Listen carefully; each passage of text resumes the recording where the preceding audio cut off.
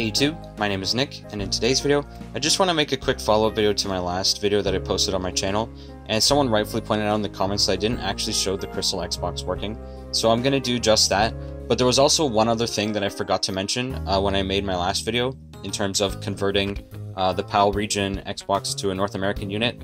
Not only did I have to replace the power supply that is now inside this console, it's now a North American one, instead of a PAL region one, because of the voltage ratings on the PAL region one can't be used in North America without a step-down converter. So not only did I have to swap the power supplies, I also had to do one other thing on the console in terms of its EEPROM in order to um, use progressive scan output on the original Xbox. Because um, for some reason, uh, despite all the hardware being in the original Xbox, in the PAL region, Microsoft restricted its users to only be allowed to play all their games in 480 interlaced, or I think it's 576i as well in some cases, but it's honestly so much better to be able to play with uh, progressive scan play, so 40p, uh, 720p even, and uh, up to 1080i. I'm pretty sure even in PAL region you don't get up to 1080i resolution even if you wanted. But playing original Xbox games in 720p on the original hardware using uh, component cables is amazing. I actually have um, custom, like modified uh, Xbox 360 component cables. Uh, it basically is just you chop the end of um, the cables off of a AV cable, and you just have to rewire the Xbox 360 uh, component cables to the AV cable part of the Microsoft uh, cable, like for the original Xbox. So, um, yeah. You don't get progressive scan uh, play on an original Xbox from the PAL region unless if you run an application known as Enigma Video Mode Switcher.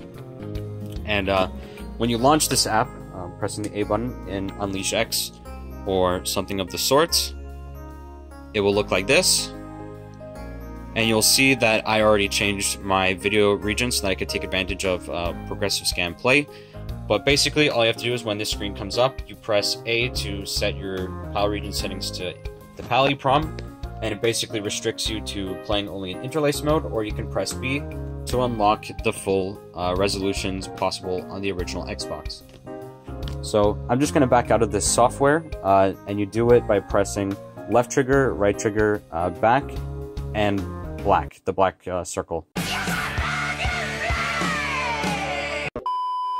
Uh, you press those all together at once, and then it goes back out. I need two hands to do it, so I'm just going to put my phone down. But you just do all of that, and it will reload the dashboard. The reason why I ejected the disk drive on boot up is because um, this Samsung disk drive, although it reads disks, it's kind of a pain to open without a disk in it. Uh, and the reason for that is because the rubber band that uh, wraps around the gears that uh, move the disk drive in and out basically has worn out over 20 years and dried up and whatever.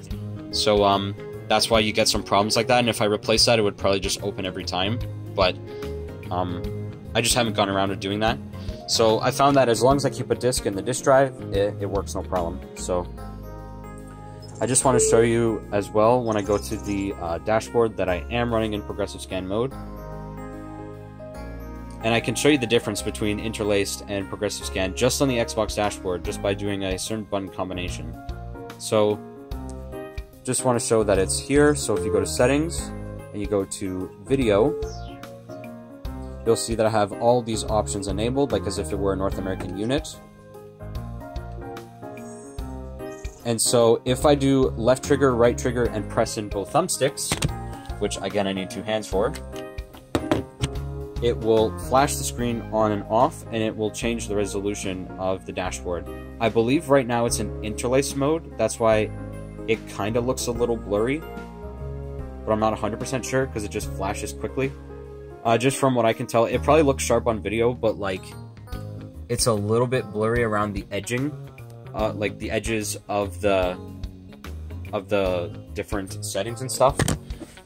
So when I do that again, yeah, it makes it significantly sharper. It's now in progressive scan mode.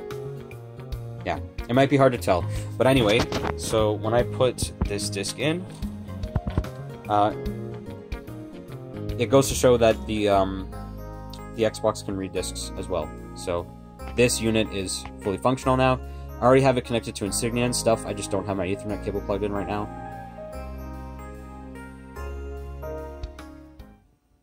But you'll see that Midtown Madness 3 works no problem.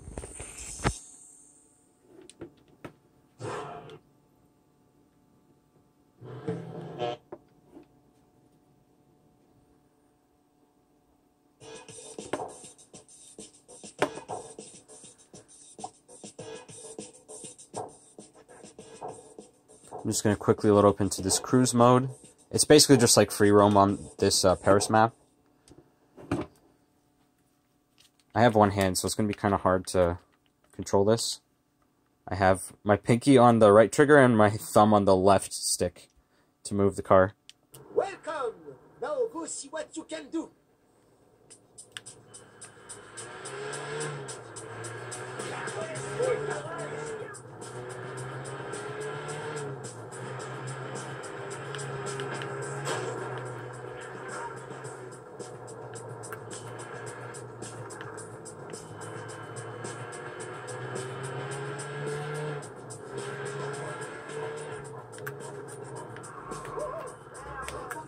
Like I said, really hard to control with one hand, but...